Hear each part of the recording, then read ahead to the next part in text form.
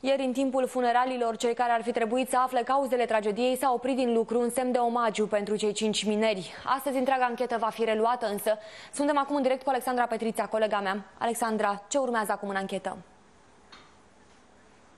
Bună dimineața! În această dimineață se vor face măsurători, iar în funcție de rezultatul acestora, anchetatorii vor decide dacă va coborâ o echipă în subteran. Anchetatorii aveau de gând să trimite oameni în mină încă de aseară, dar un comandament de urgență a decis să nu intre nimeni în mină. De sâmbătă, când s-a produs tragedia, nimeni n-a mai coborât în mină. Mihaela? Alexandra, mulțumim pentru aceste informații.